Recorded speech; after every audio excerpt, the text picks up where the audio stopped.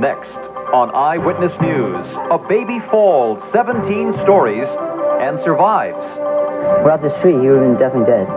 The chairman of the House Ways and Means Committee admits he drove his car while he was drunk. I intend to plead guilty. The Mets send Dr. K to the mound to end their slide. And one of New York's hottest comedy clubs celebrates a birthday. There is a settlement in the Johnson & Johnson trial. And the Phil Donahue controversy is finally laid to rest. I'm Ernie Anastos. I'm Roz Abrams. Those stories and more next on Eyewitness News.